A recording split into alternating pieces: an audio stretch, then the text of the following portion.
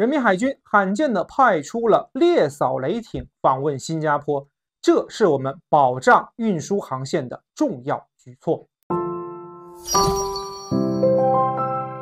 大家好，我是施涛。最近，中国和新加坡在新加坡附近啊举行了这个中新两国海军的联合演习啊。在这一次演习里面，我们非常罕见的发现了，不只是派出了零五四 A 护卫舰，还派出了咱们不那么熟悉的零八二型猎扫雷舰进行这个联合的演练。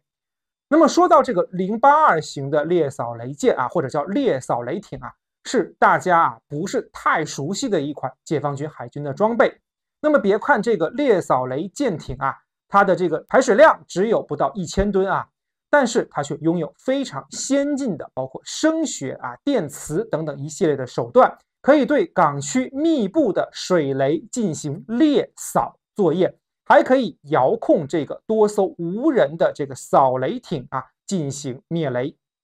说到这个猎扫雷呀，可能大家不是那么的熟悉啊，因为大家一般听都是说叫扫雷艇、扫雷舰，为什么还有猎雷这个说法呢？其实猎雷这个概念啊，不说是解放军首创，那也是与世界潮流严格同步的一个概念。那么我们说扫雷是针对更大区域海域进行的这个灭扫作业，而猎雷啊，顾名思义，它是发现了这个雷的目标之后呢。进行这个专门的对应式的这种排除，那么可以用来对付更加高级的啊、更加复杂的这种新时代的水雷。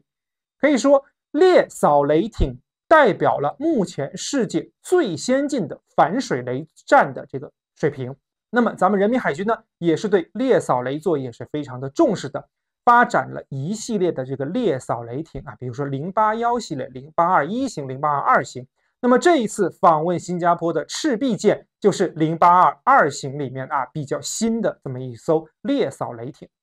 那么这么说来啊，大家会觉得更奇怪啊，这么一种这个金贵的啊非常神秘的这个兵器啊，为什么啊会派这么一艘小船去访问新加坡呢？如果我们看这一次中新联合演习的内容啊，就会发现这次演习内容不仅仅是简单的所谓的叫做。反水面作战或者叫反海盗等等这种常规的演习，还进行了对复杂水道这个水雷的这个扫除演习。那么新加坡海军也对应的派出了自己的扫雷舰进行演练。那么这其实就是中新两国应对这个咱们这个关键水道，也就是马六甲海峡未来可能会出现的一些情况做的先手。大家都知道，中国啊对外依存度极高的几样产品中就包括了石油，而中国的石油运输大量依靠海运。那么从波斯湾到中国的海运是必然要经过马六甲海峡。可以说，如果扼住了马六甲海峡，就有可能扼杀中国能源回运的这个大动脉。因此啊，包括美国等等国家在内，一直在研究在与中国作战中。采用攻势布雷的手段封锁马六甲海峡，扼杀中国的能源供应。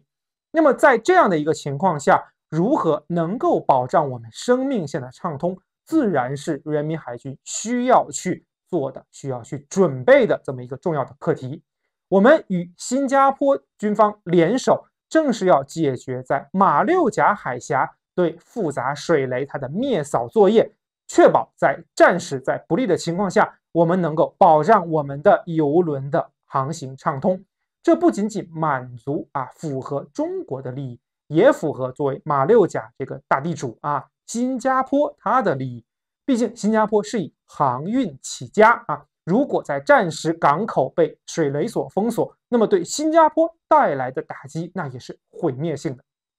可以说啊。通过简单的一个猎扫雷艇的合作，就能看出中国在与别的国家合作思路上啊，一直采取的是我们叫双赢、共赢合作的这么一个思路，而不是啊互相的去竞争，互相的去这个搞零和博弈。那么通过我们在扫雷上的合作，可以使中国与新加坡在共同利益上达成高度的一致。那么这也是未来呀，这些域外势力对中国进行干涉的时候，我们所必须要留有的一个后手。大家对这期话题有什么看法？欢迎在评论区我交流，也感谢你的关注、点赞、转发支持。咱们下期再见。